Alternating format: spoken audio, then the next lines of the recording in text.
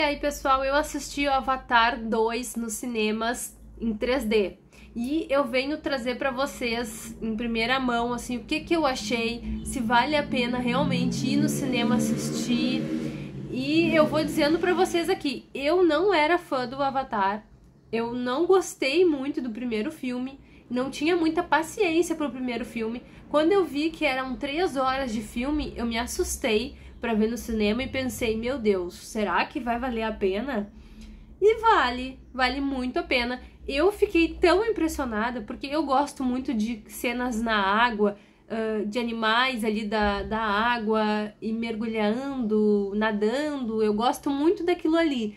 E o James Cameron fez uma coisa divina nesse filme, claro, né? Caminhos da Água. Mas ele fez com que os atores tivessem que aprender a nadar realmente para poder fazer aquelas cenas. Ele usou uma tecnologia nova, que por isso que ele demorou para fazer o Avatar 2, porque ele estava esperando, parece que em 2017 ia sair uma, ah, uma, uma tecnologia nova que ele usou e coisa e tal. E realmente, assim, as cenas têm uma profundidade.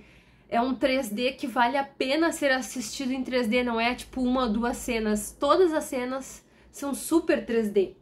E, uh, o, ah, nossa, muito perfeito, assim, o design, a fotografia, as cores azuis, tem umas cores em neon, me lembrou muito Euforia, na verdade, a série, porque tem várias uh, luz negra e, e brilhos, me lembrou bastante Euforia.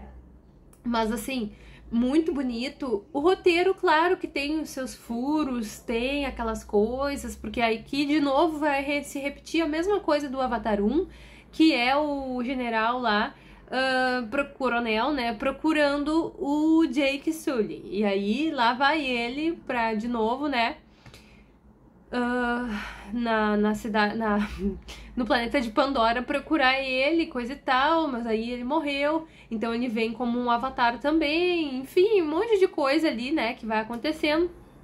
Mas aqui a gente tem a Sigourney River também muito boa, ela, ela não aparece muito, mas o avatar dela, eu percebi que era ela, sabe? Isso eu achei muito legal, porque eles conseguiram dar uma identidade, assim. E, e, se tu reparar, tu consegue ver quem é quem ali nos avatares. E isso eu acho legal, porque não é só um, um, um avatar, né?